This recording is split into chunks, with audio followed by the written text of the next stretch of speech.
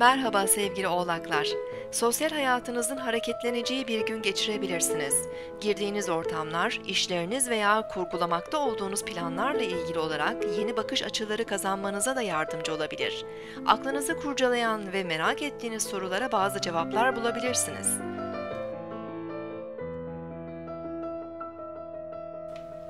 Bugün 16 Nisan 2014 Çarşamba, Merkür günündeyiz. Akrep burcunda ilerleyen ay yoğun duygularla birlikte içe dönük enerjiler veriyor.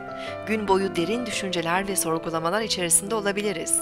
İş ve özel ilişkilerimizde tutkulu, hırslı ve kararlı davranabiliriz. Merkür terazi burcundaki Mars'la karşıt açı yapacak. İletişimlerimizde ani dürtüsel tepkiler verebiliriz. Bugün sözlerimize daha fazla dikkat etmeli, fiziksel hareketlerimizi de kontrol etmeliyiz. Kaza ve sakarlıkların yanı sıra ilişkilerde ortaya çıkabilecek tartışmalara karşı temkinli olmalıyız.